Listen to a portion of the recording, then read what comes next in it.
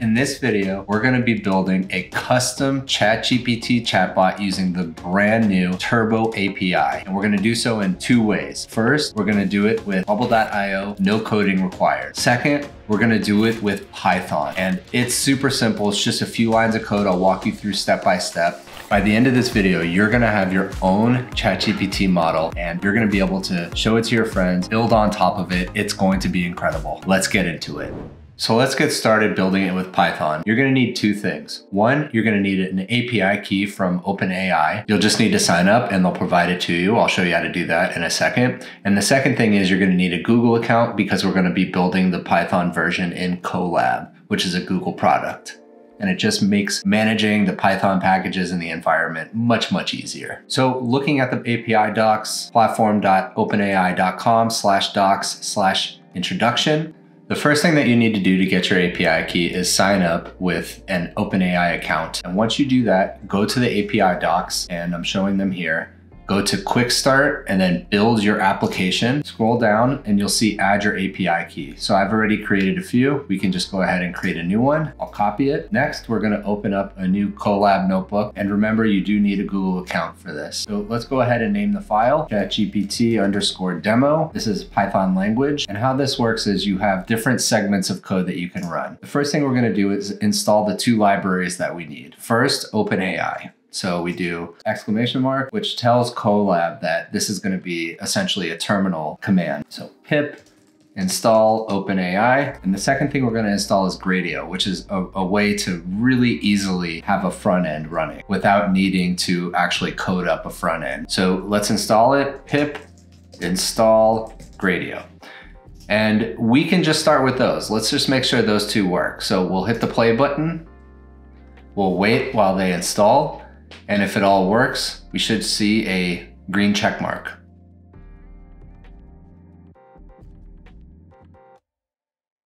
Okay, it's done. So we see the green check mark. It took 27 seconds to install.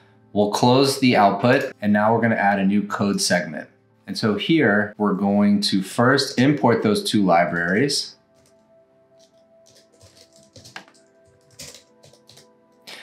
And next, we're going to set our API key.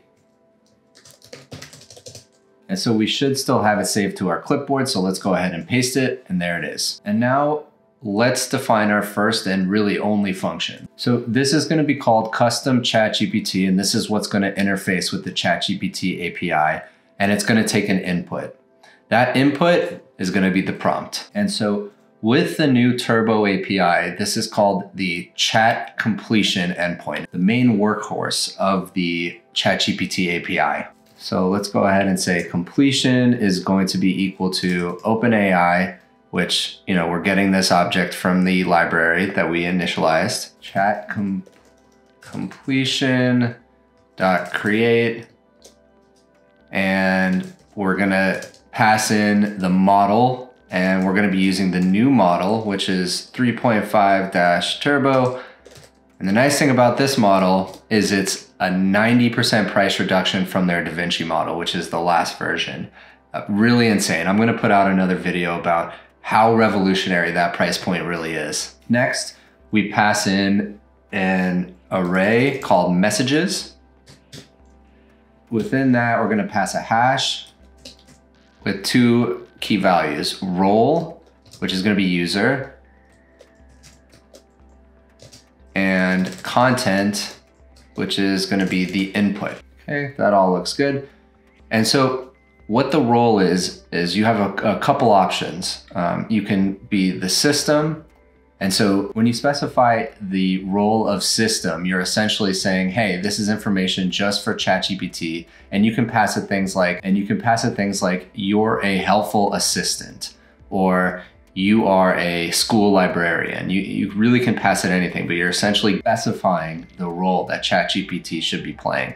And then content is the prompt itself. And so here, this is the role of user. We're gonna come down and we're gonna initialize a Gradio instance. So FE meaning front end, Gradio dot interface And we're gonna define the function is equal to custom chat GPT with inputs of text and outputs of text. And then we launch it. Okay, and let's make sure that these are indented properly. And after this function is complete, we are going to return completion dot choices message content. And so when you hit the chat completion API endpoint, let's look at what we're gonna get back in return. So here's an example response. ID, object, created, but the main part of the payload that we're gonna be needing is this choices array. And within that, messages, and then the content itself, which is gonna be the response. So that's what we are getting right here. So let's run it.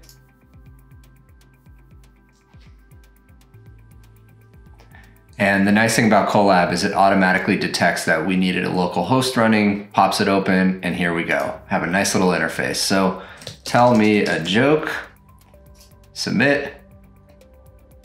Why did the tomato turn red? Because it saw the salad dressing. Uh, so that's it.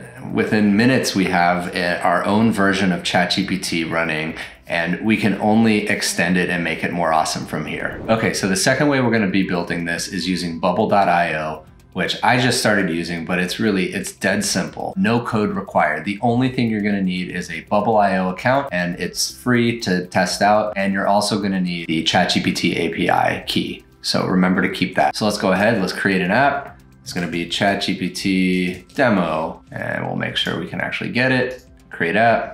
We don't need the setup assistant. You can go ahead and close all of this. But what we will need to do first is actually go into plugins. To connect to an external API, we need to install a plugin. It's very easy. Come here. It's the first thing in the list, this API connector, and you just click install.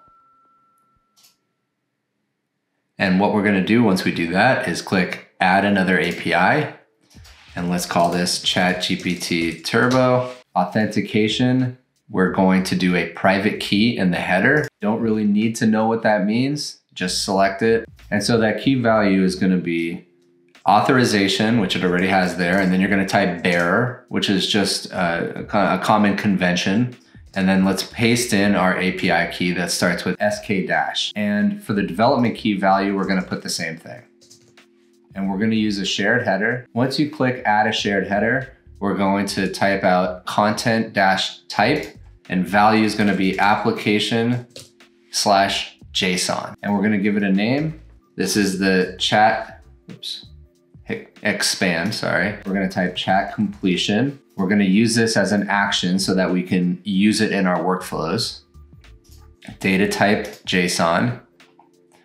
It's going to be a post and I've already copied the URL. So here it is, https colon slash slash api.openai.com slash v1 slash chat, which is the new version, slash completions. So body type is going to be JSON. And here all you really need to know is, and I'll put this in the description below. And so you just paste this little JSON in here. So this is pretty straightforward. The only thing that you really have to note is that right here, we're actually putting in a dynamic value. If you wanted to just say, tell me a joke, you could, but we wanna be able to pass that in with an input field. So we'll use that key there. And the value is going to be tell me a joke. That's going to be the placeholder value and we don't want it to be private. Remember to unselect that. So let's go ahead and initialize the call and it worked. So this is the JSON payload structure that we got back. We can see the raw data here. Again, you don't really need to worry about any of this. If it looks like what it does on my screen, you, you got it working. So we'll click save and we're done here. So next, click on over to design now that we have the API set up, we're gonna need a few things on the page. we're going to need a text input box, somewhere to actually type the prompt. We're going to need a submit button, a way for the user to tell us, hey, I'm done typing, go ahead and give me the response. And then we need a place to actually display the response. So let's put those three things on this page. So first, let's go down and we'll grab a multi-line input box, drop it right there, make it a little bit bigger. We'll leave it as type here, but we're gonna rename it to be prompt goes here. Then we need a button. Let's come over here. We'll grab a little button, drop it there, and we'll say submit prompt and button submit prompt. That's a fine name for it. And then let's grab a text field and drop it in somewhere to display the response. And we don't need any uh, default text there. Now I'm not going to spend time making it look great. I just want to get it functional and feel free to make it look great in any way you like. The next thing we need to do is set up the workflows. So to do that, let's click the submit prompt button and we're going to start edit a workflow. And it automatically creates a workflow that when the button submit prompt is clicked. So then we're going to add an action. We're going to come down to plugins and we're going to grab that API call that we created. Click that. Rather than it being just tell me a joke, we want to take whatever the user types in the input box. So let's click insert dynamic data. And we're gonna grab the prompt goes here. And we're gonna grab its value. So let's close that. So once we have that, let's hop back over to design and we're gonna need to name this text box something. So go ahead, double click it and we'll put response goes here. Close it, hop back over to workflow. Now we're gonna add a second step to that workflow. So we click here, element actions, and set state, which is really just a way to save the data that we're getting. So we'll go to response goes here, create a new custom state, we'll call it response, and it's gonna be a text response, create, and the value is going to be the result of step one. So if you think about it, step one is taking the prompt and sending it to ChatGPT's API. And then we're going to get a response back from that API in the form of the actual completion, the, the response to the prompt. So we click here and we want the result of step one's choices. So now choices, where that comes from is it actually comes from the JSON response that we're getting back. JSON is just a data structure. And we're just telling it, hey, within this data that we get back, here's the thing that we actually need. You don't really need to know about how it works, just uh, follow along. So we're gonna say choices, and we're gonna say each item's message content first item, and then we can close it. And so we're saying we're gonna take the response, set it in the response goes here box, and that should work. The last thing we need to do is go back to design and we're gonna double click this response box again, and we're gonna tell it this is where we actually want that dynamic data. Click this dynamic data button, select response goes here, and we're gonna want its response. Close that, and I think we're ready to preview. So there's our button, there's our input box. Let's test it out. Tell me a woman's name.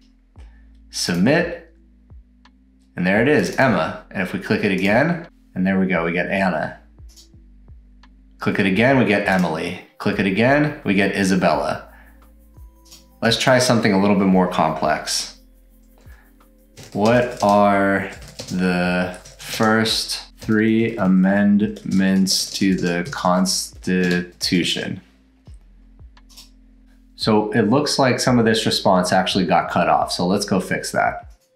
Come right here and it's multi-line. So let's make it a little bit bigger, preview, and let's test it again.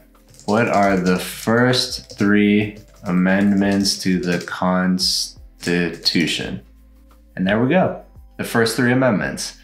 And that's it. You have a fully functional ChatGPT custom implementation that you built yourself. You can share it with friends and Play around with it. You can extend it. You can build full applications now that you know how. Pretty easy, right? If you enjoyed this video, please consider liking and subscribing and I'll see you in the next one.